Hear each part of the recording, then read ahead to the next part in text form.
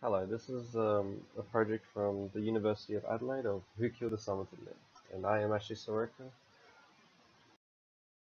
Uh, the introduction to the history about the Somerton Man is that he was found on the 1st of December in 1948.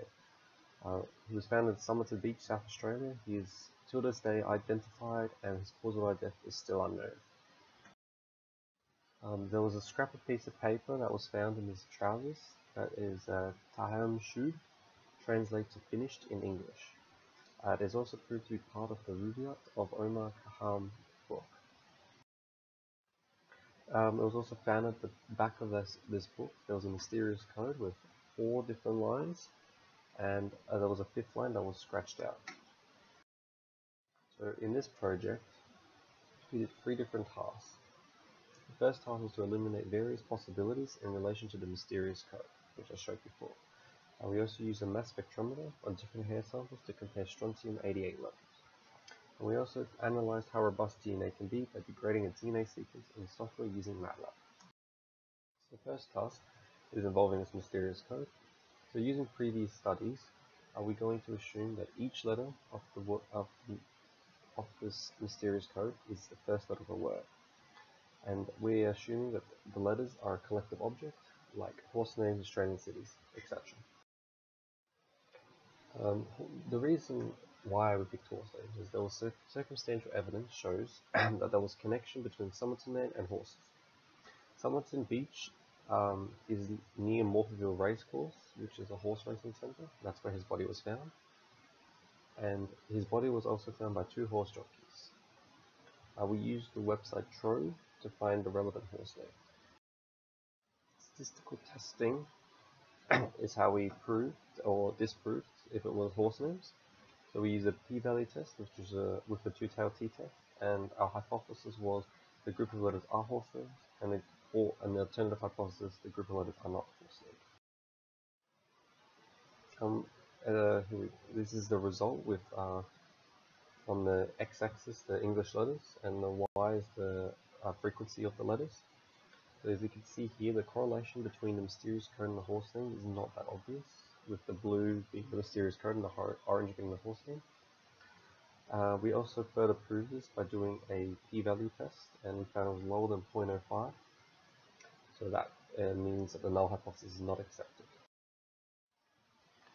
Um, we did a, we found that actually in Australian beach names that uh, the correlation was a bit better, as you can see here that the, um, the we found the p-value was higher than 0.05, so it refers that it could possibly be Australian beach names, but we do need a bigger database to confirm this. Uh, the second task we did was using mass spectrometer. So um, what a mass spectrometer does, it just uh, measures a, a, a, sample gets ablated in this case, and it uh, picks up the different isotope signatures of the sample and the sample we used was a shaft the head. Um, so we were finding uh, the levels of strontium. The reason why is previous studies found there was high strontium in Somerton man's hair, and without further research we found there was high strontium in Adelaide. As you can see in the graph, that South Australia has a, or Adelaide, has a more strontium level than the rest of Australia. So we had five different samples. Um, as you can see on the table. Uh, hair, uh, from our studies, we found that hair approximately grows one centimeter per month. So we stuck the hair into a quartz slide rather than a glass slide because glass slide has a lot of impurities which would have affected the results. And we did a discrete ablation on the hair sample. So as you can see, hair 1 was, has been to Japan for nearly one week, and uh, sample uh, hair A, or uh, hair E, my bad, has been to Bali for at least two weeks. So knowing that hair grows one centimeter per month, we found uh, we could find the, the period of when they were overseas. So as you see in the purple box, sample A that was in Japan, you can see that that's about 2,000 micrometers of hair that was in Bali, and black the black box, the bigger one, sample E that was in Bali, is about 4,000 micrometers.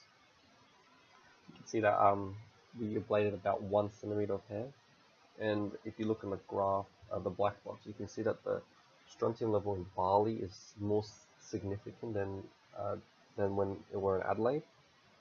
So um, this is opposing our initial assumption. Uh, and the y-axis is the, the strontium uh, level.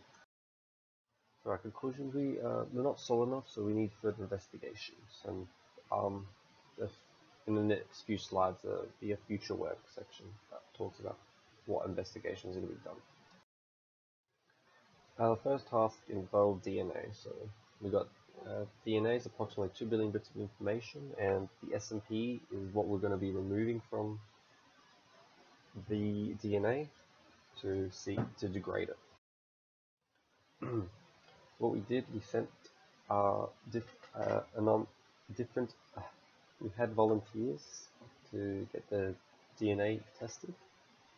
So we're going to be degrading the DNA by removing the SNPs as mentioned previously, and we're going to check for false positives and false negatives. And we're going to see how many SNPs can be removed before the DNA is identifiable. So this is our first test. We did a heritage test. As you can see on the top graph or pie chart, that's the different uh, percentages of uh, heritage. And we removed the different SNPs. So if you see on the graph on the bottom, there's the SNP removed from uh, 0 to 90%. We did this test five times and we averaged it, it's just the plot on the bottom. And as you can see at about 50% removal, we uh, there was about uh, error bars about 1% difference, which has a big significance. And that's so we're assuming, as our conclusion here is that DNA becomes unreliable about 50%.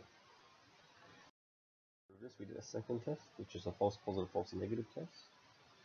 So the, if we had the original case of A, B, C, D, E, and a removed case for C, D, F, G, H, our false positive would be F, G, H, and because it's not in the original, and a false negative would be A, B, E, because it's not in the removed case. So you can see here that, that after 50% removal, that um, there was 30 false positives and negatives. So in this case, this means that no matches were found. So at 50% removal of SNPs, um, it was no matched and we can further prove that DNA is unreliable or identifiable. So our conclusion, the DNA sequence will be highly unreliable of them are degraded. Somerton man's descendants can be found as long as the DNA sequences are proved to be at least half a match for Somerton man's. This could reveal where Somerton man came from. For future work, so for the first task, we could consider other group of names. We could also research on graphology, which is a study that can identify the writer by analyzing the handwritten handwriting pattern. For the second task, the mass spectrometer, measure the samples continuously instead of um, discretely, and we could compare strontium levels in different places of Adelaide or different cities in Australia. Uh, DNA analysis, photo analysis, on more accurate reduction level DNA sequence to further prove the 50% degradation and attempt to get some of the man's DNA to undergo further testing. So, to summarize all our results, so the mysterious codes are unlikely to be horse names, but Australian beach some names have higher likelihood. Further strontium testing of hairs needed to establish if it can reveal the arrival date in South Australia, and DNA appears to be highly unreliable, unreliable when 50% of the SNPs are removed. Thank you for listening.